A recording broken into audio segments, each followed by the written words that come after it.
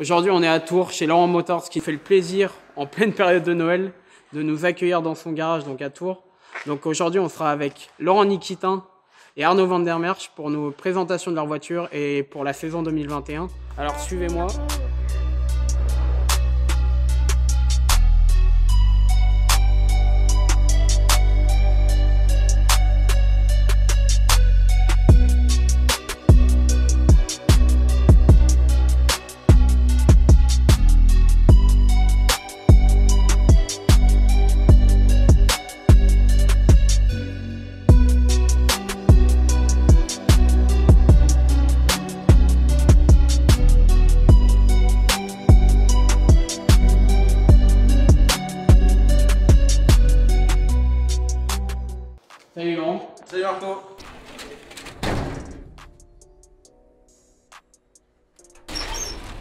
Donc il va nous présenter cette Mani S14A. si j'ai pas- S14A. Donc ça. effectivement. Donc euh, comme vous pouvez le voir, ça fait plusieurs années qu'il a. Donc euh, je te laisse détailler déjà euh, le parcours de la voiture, de la bête. euh. C'est une euh, Nissan 200 SX S14A de 2000. Euh, c'est une voiture, ça fait euh, une dizaine d'années qu'elle est, euh, qu'elle est pistarde. Donc euh, elle a euh, pu évoluer au fil du temps. Et aujourd'hui, elle est dans cette livrée-là, euh, voilà, avec, avec le travail qui a, qui a été l'expérience, le fruit de l'expérience. qui a été fait au fil des années, euh, Au fil des avec- années, avec ouais, cette voiture ça. parce que tu as commencé quand même en GTR, en GTT. En GTT, En en GTT, 34 exact. GTT, Euh, GTR ça serait bien, mais bon, c'est pas la peine d'abîmer Ouais, une ouais, GTR ouais. en drift, on va dire, c'est tellement collector que voilà.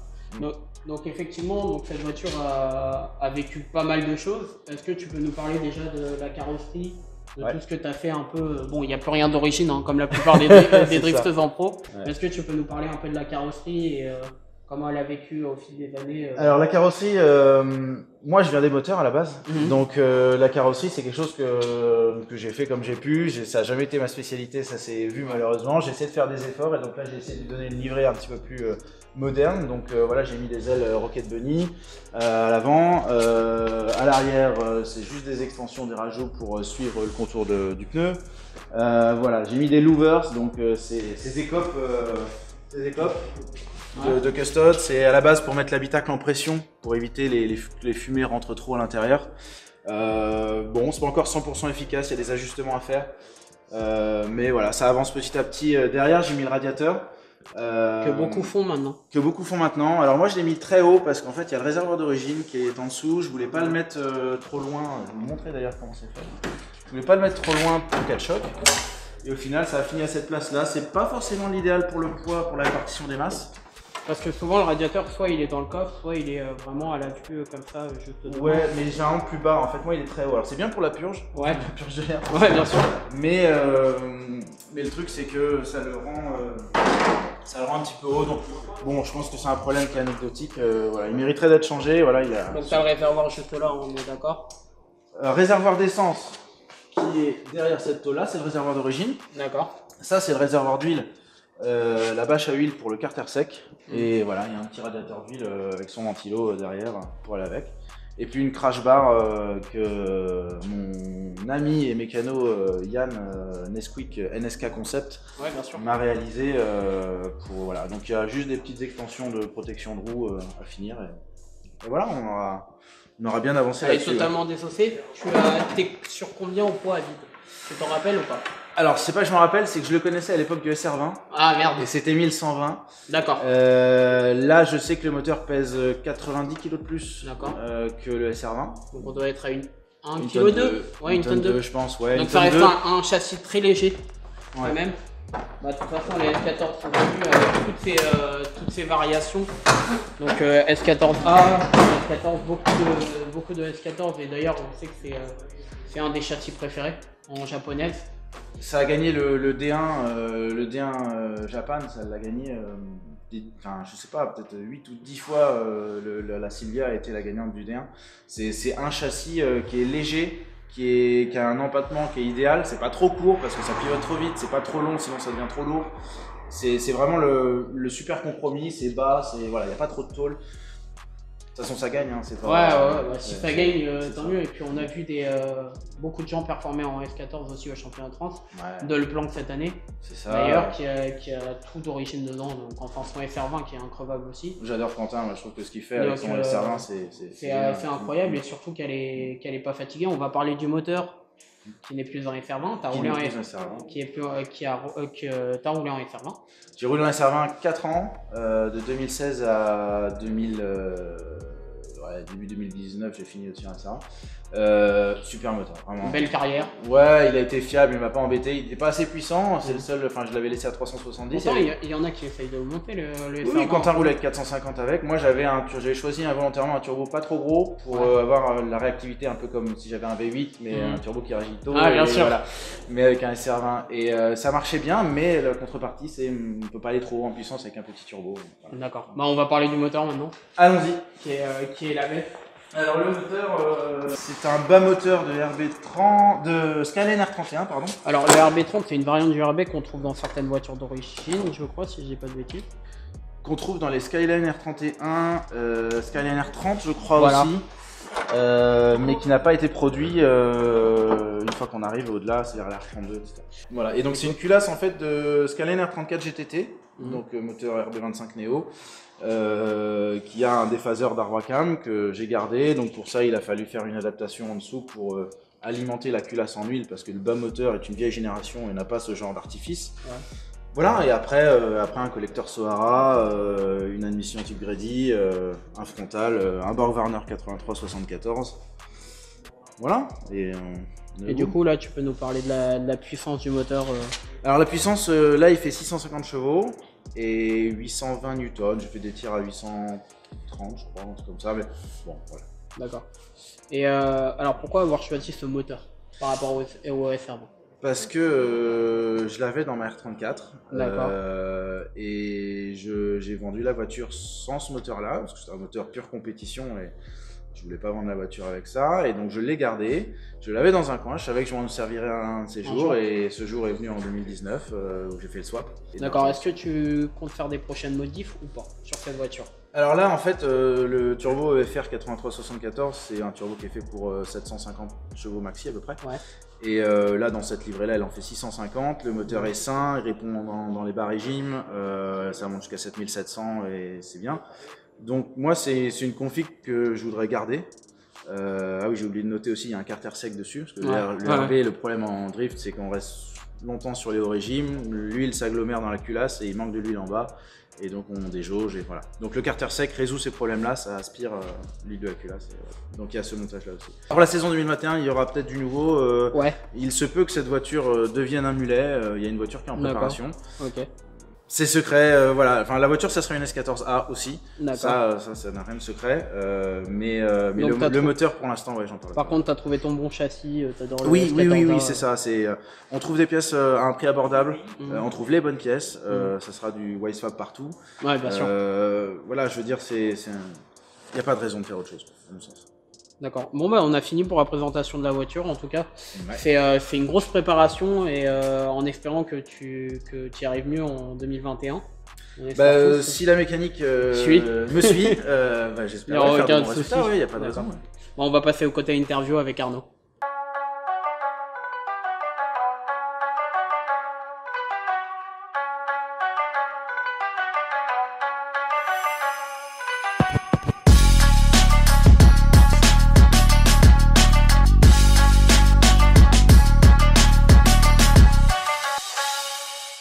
Donc euh, on est accompagné toujours de Laurent Nikitin qui nous accueille et de Arnaud Van der Merch.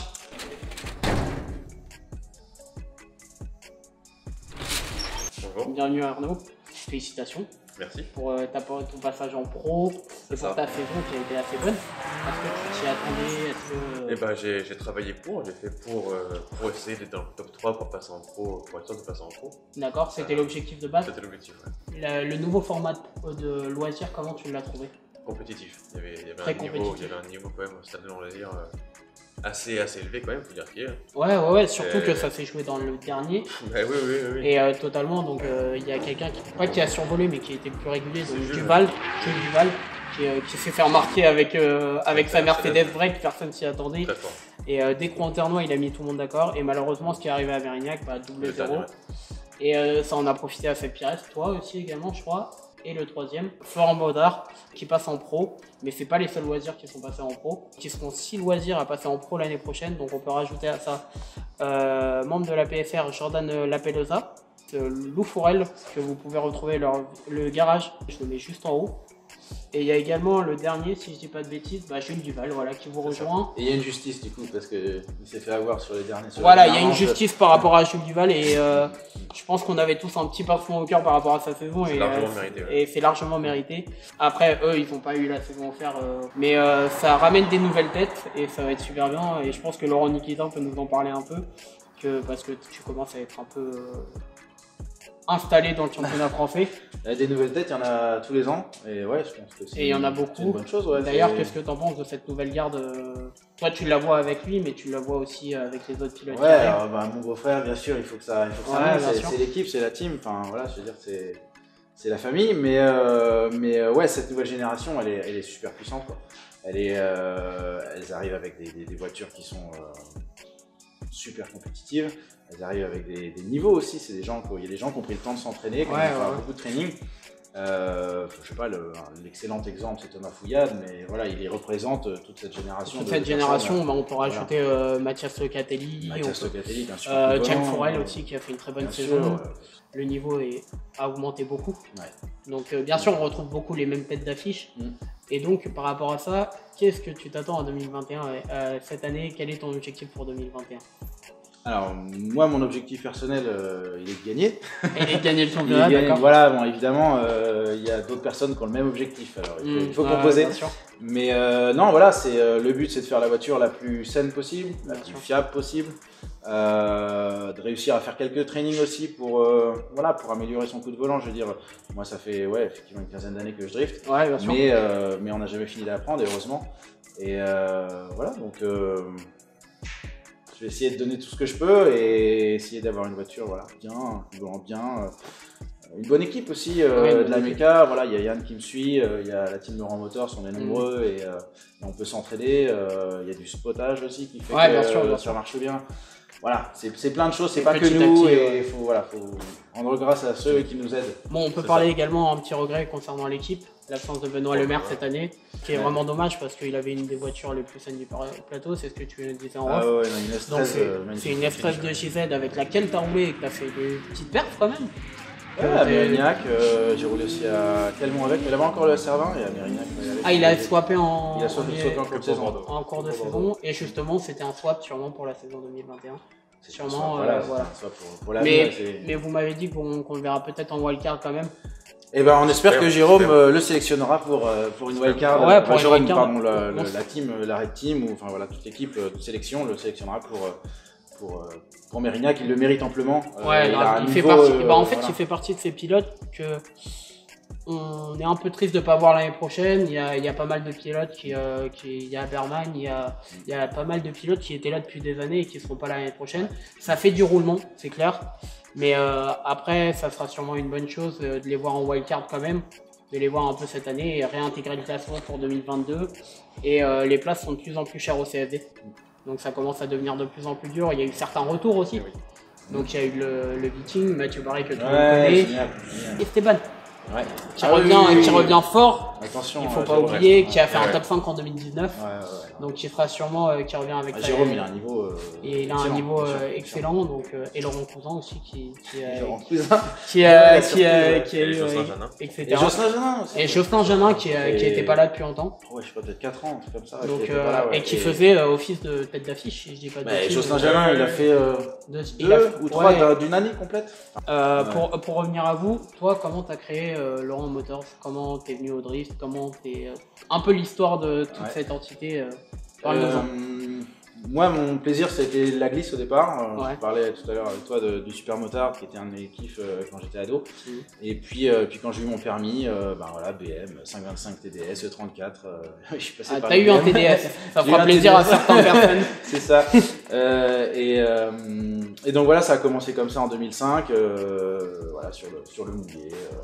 Euh, et puis 2009, premier training. Et, euh, Et après, t'as plus lâché ça. Voilà, avec, une, avec des 200 SX parce que c'était des moteurs turbo qu'on pouvait Mm. booster assez facilement. euh, il faut de la puissance pour. D'ailleurs, t'as un, amour pour les japonais.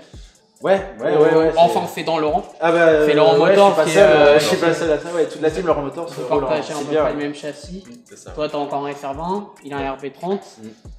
Euh, D'ailleurs, pour la saison 2021, est-ce qu'il y aura des modifications pour toi, Arnaud, ou pas? Pour moi, non. Pour moi, ça fait simplement de la fiabilisation pour être sûr de terminer toutes les manches. Mhm. j'ai eu la chance d'avoir pendant deux ans une voiture fiable. Alors, on va continuer comme ça. Le but, c'est de finir toutes les manches et, et d'être placé et pas avoir de problème mécanique. Ouais, bien sûr. Et encore un- avec un SR20, on Toujours répétera le SR20. jamais assez. Je pense que la légende est enlevée que le SR20, c'est pas du tout. euh, c'est très fiable. Ouais, Euh, toi, tu as roulé pendant 4 ans aussi avec un FR20, tu as fait une 7ème place quand même avec un FR20. On, on l'oublie un peu, mais euh, bon, tu as eu des déboires ces deux dernières saisons, mais avant ça, tu étais quand même un top 10 du CFD. Mhm.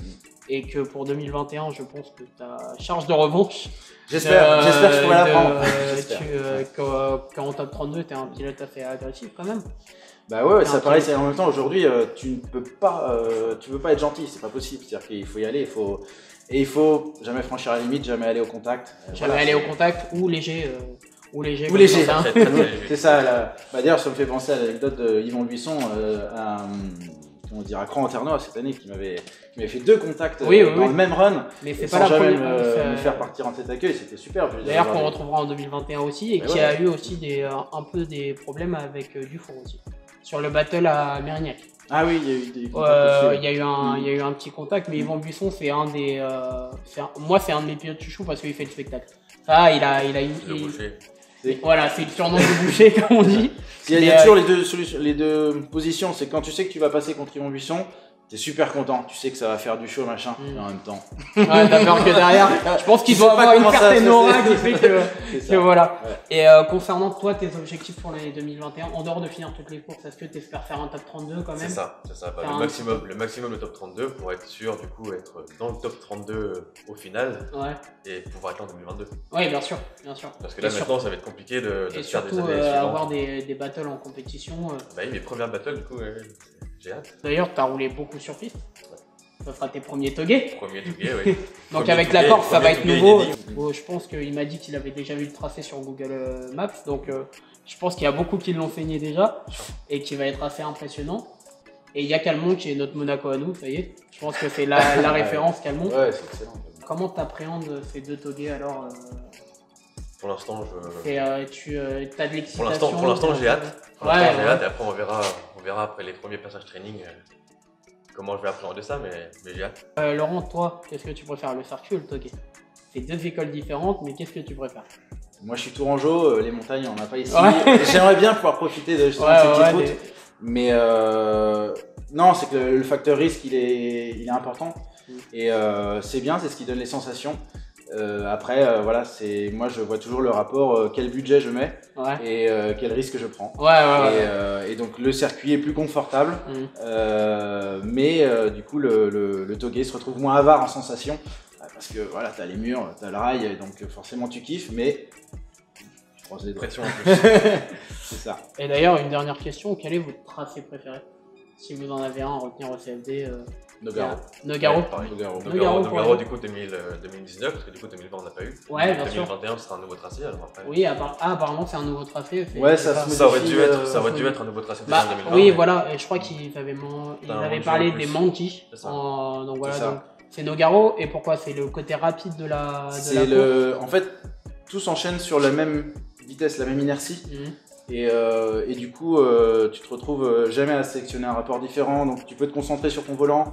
Euh, tu es toujours dans les, dans les tours. Euh, ouais, moi, c'est. Et puis, c'est vite, c'est rapide surtout. Et, C'est euh, long. ouais. C'est long plus aussi, long, ouais. ouais, ouais, ça presque fait- 800 mètres, je crois, euh, de drift. Et, euh, Ouais, ouais, ouais, c'est assez long et c'est Ouais. assez rapide. et c'est exigeant en même temps parce que au bout de 20 et quelques secondes de drift, euh, je veux dire, il faut toujours garder la concentration à son Ouais, maximum. Et, euh, et c'est à la fin justement qu'on peut voir des petites erreurs parce que. Mhm. euh, Bon, on en a vu euh, quelques années. Ça il y a eu de, beaucoup d'erreurs et beaucoup de battles aussi qui ont, euh, qui ont été dans l'histoire du CFD là-bas. Ouais. Et pour finir, euh, bah, qu'est-ce que, qu'est-ce que pour la saison 2021, qu'est-ce qu'on peut vous, vous souhaiter?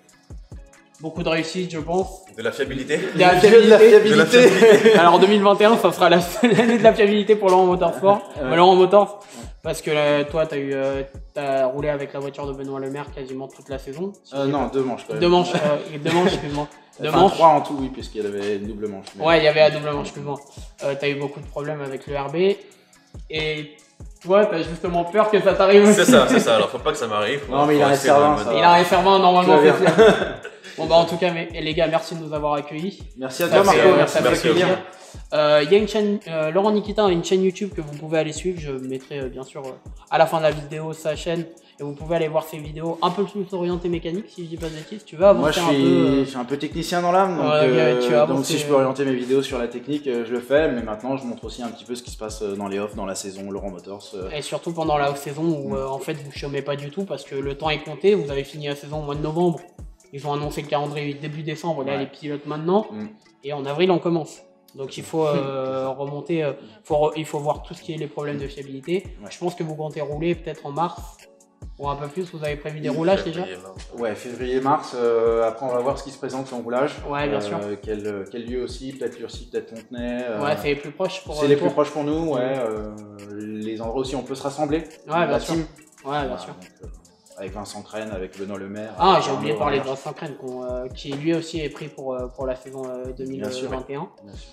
Et avec une voiture assez, euh, assez Avec puissante aussi. qui chante, Fallait ouais. 13, ouais. Ah, avec une Astras qui chante bien et qui a fait parler d'elle un peu en qualif et, euh, et qui fume beaucoup. Et je pense que cette année, on pourra compter sur lui en top Bah, il a un 32 super coup de volant aussi, Vincent. Et, euh, et je pense que l'écurie euh, Laurent Motors sera l'équipe, euh, une des équipes à suivre cette année euh, avec la team FRG parce que c'est toujours le, le, le grand euh, drapeau euh, allemand contre le petit drapeau japonais parce que vous êtes ça. il y a de moins en moins de gens qui roulent en japonaise au CFD, beaucoup de BMW et euh, ça fait toujours plaisir justement de voir ces voitures et et euh, voilà et puis l'amour de la japonaise qui euh, ne mourira jamais dans le drift. ça, je on, a, pense, on donc a- voilà. on a- non, on a un côté affectif avec la SRG Même qui si euh, quoi, certains diraient que BMW est plus, euh, est plus fiable. Voilà. Bon, bah, merci à vous les gars et puis Merci à à bientôt. vous. Merci à toi. Merci à vous.